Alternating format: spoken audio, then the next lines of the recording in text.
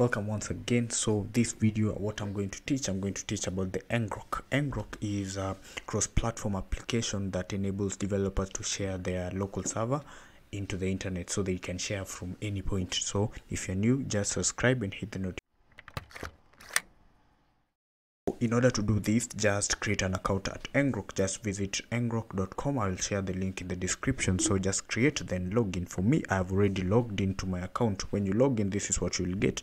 Now you can just click download for windows if you're a windows user. And if you are using other other OSs this is what you should be downloading. So you you download the zip file which the zip file will be located on your downloads. After creating the uh, downloading the zip file this is what you'll get. So then just extract the zip file.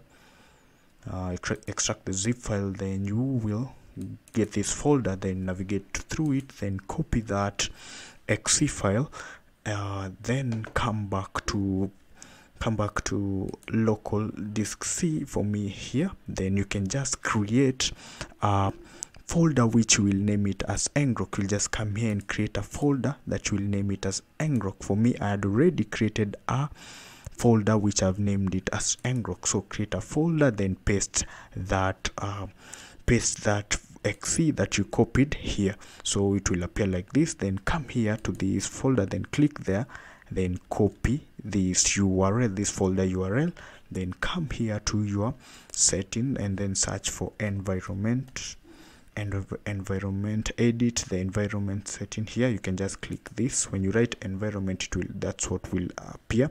Then you can just click here at um, environment variables.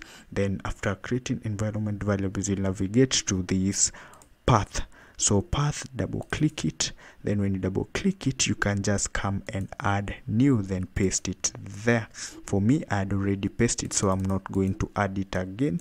Then just do this. Then you can just click ok ok then ok then you close. Then when you come in order to test if it has been set correctly you can just come here then do this. Then write ngrok ngrok you can see now that's how it means that ngrok has been installed in our machine. So uh, now i'm going to show you on how you can just uh, you can share your local project. For me here i have this uh, application which is uh, named as uh, Kejape. So in order to do this, I need first to set up the ngrok to be linked to my account which i have created here. So in order to do this you will uh, you will we, we, what we have done this is the steps that you are going to follow. We had already unzipped and unzipped the ngrok then we placed it on the path then we added it to the environment. So in order to do this you will come to your account you will get this api key. This api key will uh, just going to copy it then do this. After you have copied it you can just come to your here to your to you can just open cmd like that then just do that. Then you will just do that. It will link to your it will link to your to your account. When you have just done this after you've installed it will link to your account then you can just come to the step two where you we will we will do this this step two. You can skip the this which is in top. We can come to this ngrok http http port 80 so this is how we are going to tunnel our application. So in order to do this we will do uh, we'll just come in write ngrok. Then we are going to write http we're going to write http ngrok then http what http then you are going to write 80 80 means it's the port that you want to write. So as we are tunneling it to port 80 so when you do you just do this you will get this. It's online. This is the now you will find here there's a url this is the url that you will share and you can share it to your account. So you can see from here this is alvin kiveu. Then you can see this is what. So alvin kiveu is getting the account from the account that i've linked it with.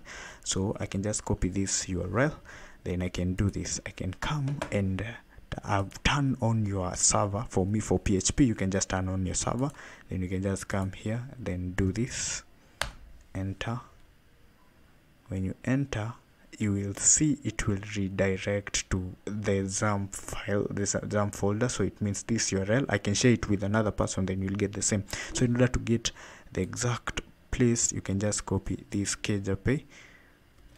uh, sorry this KJP. i can copy that then i can come here and just paste it there and you can see now you can see this project has run to this. When i share this url to any of my friends or if i share it to anybody you can see he can see the same page that i am getting.